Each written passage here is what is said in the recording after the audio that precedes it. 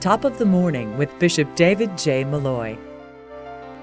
Today's gospel describes Mary Magdalene and the other Mary as fearful yet overjoyed as they leave the empty tomb.